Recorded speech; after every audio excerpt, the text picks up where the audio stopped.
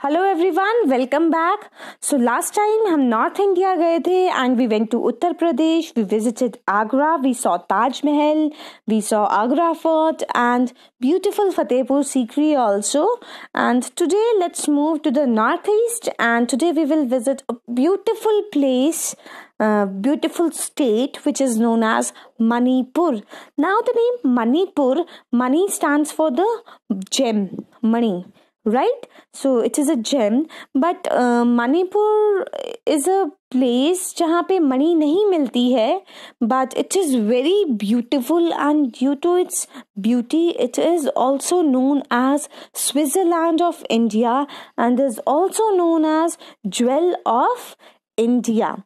and due to its natural beauty and the population is a mixture of many tribes each with unique culture. And uh, you you also read about the Thengpa Thengpa which is world famous Manipuri martial art form. And Manipuri dance is also world famous the Ras Leela of Radha Krishna uh, is presented through Manipuri dance. That is also world famous now further, this Manipur is well connected to the major cities of India by air, and Bir Tiran, uh, Jeet International Airport is in Imphal, which is the capital of Manipur. Now, this capital of Manipur, Imphal, Imphal is also very beautiful city, and um, it is surrounded by seven hills. Seven hills से surrounded है और center में Imphal city is there, and this Bir Takendrajit uh, International Airport, as you can see,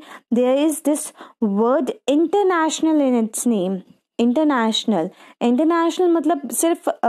पूरे India के लिए आपको यहाँ पे फ़्लाइट नहीं मिलती है। यहाँ से आपको डिफरेंट कंट्रीज़ के लिए भी flights are available so Manipur is very well connected to the whole country with the air route and it is also connected to the other countries as it is having international and as far as railway line is concerned uh, there is no railway station in Manipur, but the nearest railhead is in uh, Dimapur, which is in Nagaland. As you can see in this image, this is Nagaland, and it is very close. It is just 215 kilometer from Imphal and another railway station is in is at Silchar in Assam as you can see here this is Assam and अगर आप इसकी boundaries को देखेंगे तो it share its border with three Indian state one is Nagaland second is Assam and third is this Mizoram so three Indian states के साथ मणिपुर अपनी boundary share करता है. Nagaland Assam and Mizoram it also have international border and share its boundary with another country that is Myanmar. Myanmar के साथ भी ये अपनी कंट्री जो है अपनी जो बाउंड्री है, वो शेयर करता है। और आप देखिए, कितनी ज़्यादा इसकी बाउंड्री जो है, ये म्यांमार के साथ शेयर हो रही है। See the blue line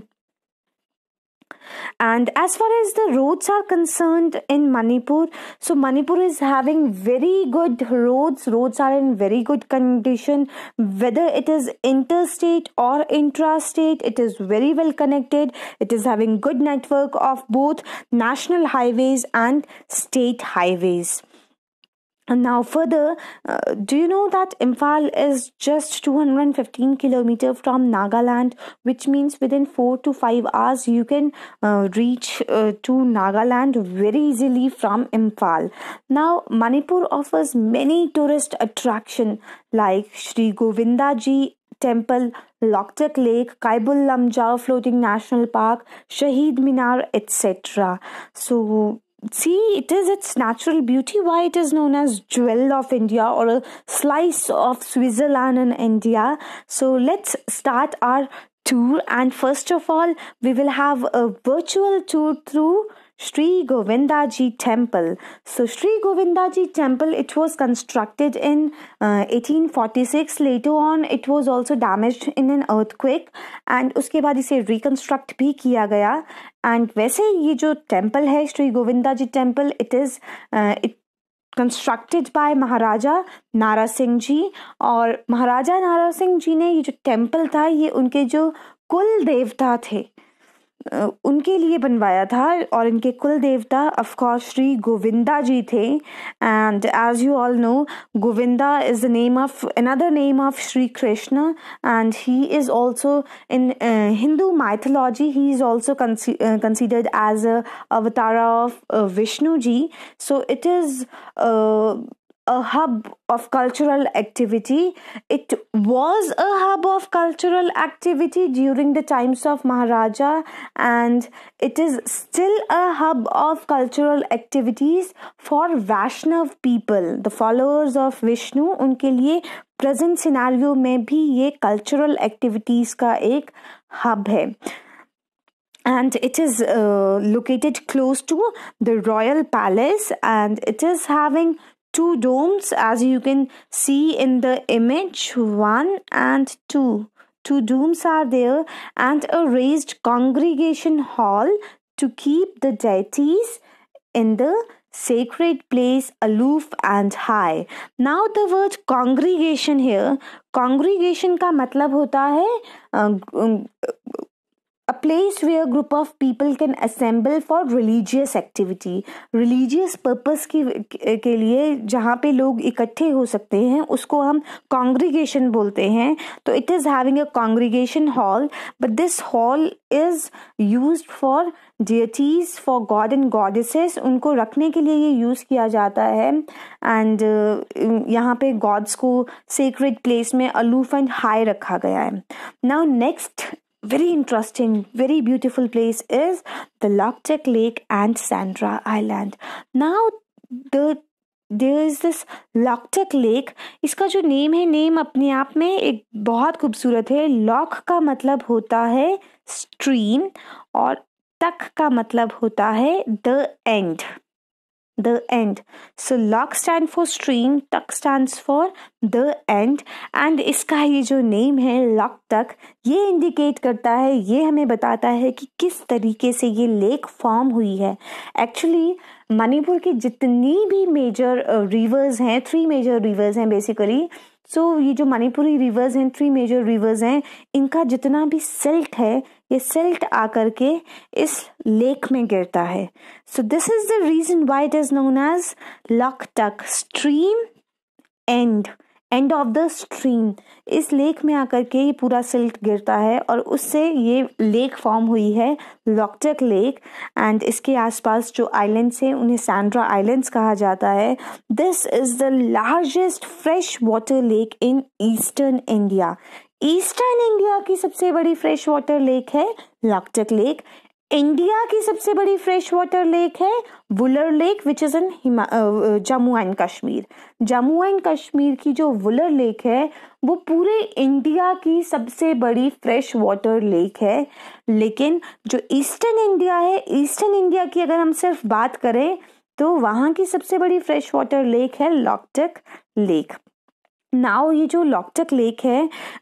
it provides hydro power generation water for the hydro power generation in Manipur it provides water for drinking purposes it provide water for the irrigation not only this it also provide a site and is a big attraction for fishing purposes also यहाँ के जो local farmers हैं they use to come to this lake so that they can catch fishes and the tourists can also enjoy their stay in a beautiful in the beautiful bungalows situated close to the Sandra Islands. Uh, and these are the Sandra Islands, and you can see there's this construction in between. This is actually a Sandra tourist home, Sandra tourist home, and it is also having a cafeteria. Just imagine you are sipping coffee, and there is water all around you. You are sitting on the largest freshwater uh, lake in the eastern India, and you are sipping coffee there. Isn't it beautiful and how ecstatic it is? So, Loktek Lake is also world famous for its great variety of orchids. Orchid flowers की बहुत ज़्यादा variety आपको Loktak lake पे मिल जाएगी now let's move to the another another really beautiful and amazing place in Manipur which is Keibul Lamjao national park in English actually it is known as Keibul Lamjao national park and the local people use to call it Keibul Lamjao so Keibul जो इसका name है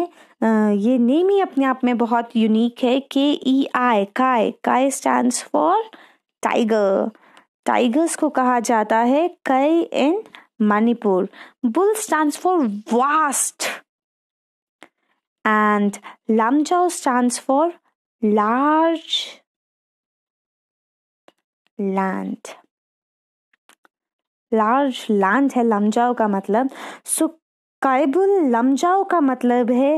vast land for the gathering of tigers see earlier यहाँ पे tigers आते थे they use to gather here they use to have water from this lake but present scenario में आपको पता है tiger is an endangered species और Keibul Lamjao national park में ऑलमोस्ट टाइगर जो है, वो बिल्कुल फिनिश हो चुके हैं, बिल्कुल ख़त्म हो चुके हैं एक्सटेंक्ट हो चुके हैं। सो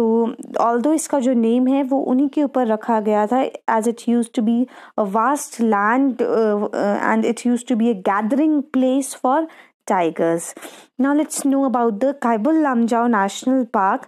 this park is the only floating national park in the world पूरी दुनिया में अपनी तरह का ये एक अकेला नेशनल पार्क है जो फ्लोट कर रहा है। Yes it is floating over water ये पानी के ऊपर तैरता हुआ एक नेशनल पार्क है and it is just 53 kilometre away from the Imphal okay you must be thinking कि ये पानी के ऊपर तैर रहा है तो ये जो नीचे पानी है, इसका कोई नाम है कि नहीं? सो so बेसिकली अभी अभी आपने एक बहुत ही खूबसूरत largest fresh water lake of eastern India visit की इन योर वर्चुअल विज़िट और उसमें आपने लॉकटक लेक को विज़िट किया। दिस लॉकटक लेक इसके ठीक ऊपर ये Keibul Lamjao national park float कर रहा है। So this Keibul Lamjao national park is right over the Loktak lake and this park is compose of a massive mass of floating weeds जिसे कहा जाता है फुंदी। ठीक है आगे इसकी इमेज है I show you image also and ये जो फुंदी है ये इसकी ये बहुत ज़्यादा स्ट्रांग होती है। इसमें इतनी स्ट्रेंथ होती है कि इसके ऊपर as you you have seen कि सैंड्रा टूरिस्ट होम जो है वो इसके ऊपर जो है वो कंस्ट्रक्ट uh, किया गया है। It can bear the construction also and it is so strong कि इसके ऊपर tigers use to walk see and this park is also famous for the endangered brow antler deer deer of Manipur which is Sangai Sangai else deer की एक species है और ये इतनी unique है। पूरी दुनिया में, पूरे वर्ल्ड में जो संगाई स्पीशीज है ब्रू एंटलर डियर की it is found only in Manipur so see how exotic it is isn't it so further अगर मैं इमेजेस की बात करूँ as you can see in this ये सिर्फ़ एक मैग्नीफाई uh, किया हुआ है एक पैच को और इसके ऊपर आप ये देख रहे हैं ये ये which looks like a land it is actually not land this is phumdi ये है फुंदी और ये पानी के ऊपर ग्रो कर रही है और फ्लोट कर रही है। अर्लियर ये इतनी स्ट्रांग होती थी और ये पूरे एरिया को कवर करती थी और इसके ऊपर this Sangai deer use to walk over it the tigers use to come and hunt for deer over it but अब जो प्रेजेंट सिनारियो है due to pollution due to excessive use of pesticides and fertiliser ये जो फुंदी है, ये damage होती जा रही है। और क्योंकि अब इसका फुंदी का area as you can see it is decreasing see the area is decreasing अब देखिए तो अगर एरिया डिक्रीज होगा तो अगर लैंड नहीं होगी तो हम अपना घर किसके ऊपर कंस्ट्रक्ट करेंगे isn't it same thing happens with these creatures also this the Sangai. Sangai के साथ भी ऐसा ही हो रहा है। इनका जो नेचुरल हैबिटेट है, इनका जो नेचुरल होम है it is getting shrinked day by day due to our activity हमारी एक्टिविटीज़ की वजह से इनका घर जो है वो डैमेज हो रहा है, ख़त्म होता जा रहा है। And this is the reason why this Sangai it is also in a category of endangered species कुछ ऐसा जो पूरी दुनिया में आपको सिर्फ़ मणिपुर में देखने को मिलता है। And see how beautiful it is आप देख रहे हैं कितनी कितनी खूबसूरत है ये डियर इनके सिर पे एक नेचुरल क्राउन है। सी a natural crown is over their head how beautiful they are. But their habitat is um, being damaged by our activities as we used to cause so much pollution. So this was all about um, the manipur beautiful manipur uh, a slice of switzerland in india. Next time we will visit to mysore. Till then bye bye take care everyone